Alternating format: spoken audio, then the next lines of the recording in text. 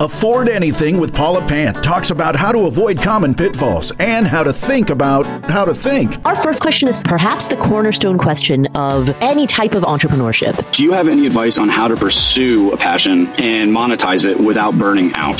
Two of my favorite books sound rather discouraging around the notion of starting a business around a passion. Ultimately, while the risk is greatest, that's also where the rewards are greatest. Make smarter choices and build a better life. Afford anything wherever you listen.